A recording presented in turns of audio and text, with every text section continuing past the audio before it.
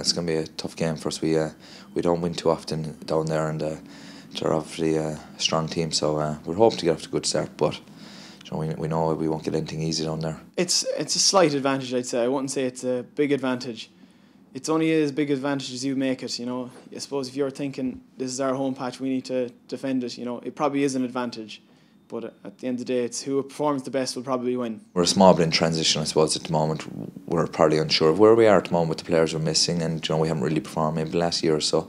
So it's um, it's kind of interesting times for us. But uh, Mayo, no, I suppose uh, Mayo are probably in good place. I suppose um, obviously after losing the All Ireland last year, but I suppose they know, like if you talk to any Mayo fella, they know where they went wrong, which is always important coming out of a game, especially if you don't win, to know where he where he went down. And um, so I suppose they'll be kicking on. But uh, Mayo have been there and thereabouts last 10 years and I don't think they get enough credit for it. Yeah, I think Kerry are in a similar position. they they'll be trying out a couple of new guys as well.